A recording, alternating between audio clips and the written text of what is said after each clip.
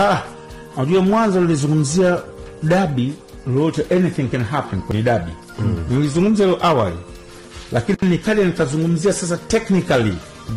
yani achana hiyo mambo ya dabi sijui sijui mambo ya nje ya uwanja. Nazungumzia technically. Hata wewe ndani ya nafsi yako ukipewa bilioni kumi kuwekeza kwenye mechi kabeti.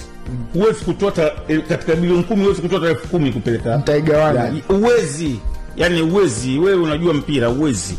Lakini kama ulivyosema kwamba inawezekana mbinu za siku ile zikaamua matokeo tofauti. Lakini kitu ambacho nakiamini uh, mkwasa uh, ni mwalimu mzuri amecheza amecheza hizi dabi sana amefundisha hizi dabia ana uzoefu amekuwa katika mambo haya anajua.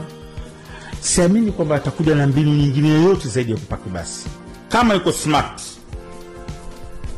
Unless otherwise anataka kufunguka na tunapiga tano. Wallahi na hapa. No. akifunguka akasema mimi nacheza open game na simba sports club jumamosi.